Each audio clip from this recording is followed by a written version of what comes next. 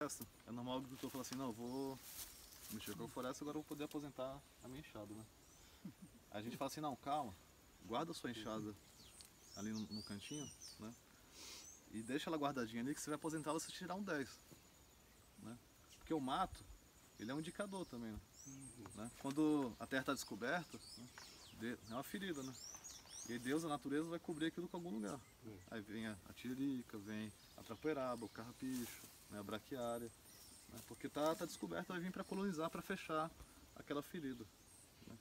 Só que a gente vê quando a gente cobre bem o solo, né? uma cobertura boa mesmo, né? uma cobertura farta, né? uma cobertura nota 10, né? a gente vê que o mato não vem. E a gente tem conseguido isso em muitos lugares. né? Só que se ele tirar um 6, um 5,5, né? um 7, um 3, né? vai vir o mato. né? Então ele vai precisar da, da, da enxada. né? Então o mato pra gente é meio que um, meio que um indicador né? da, de como que tá. Né? Quando você falou em cobertura, você fez assim com a mão, desculpa. Aí, assim, tem uma, met- assim, uma centimetragem, você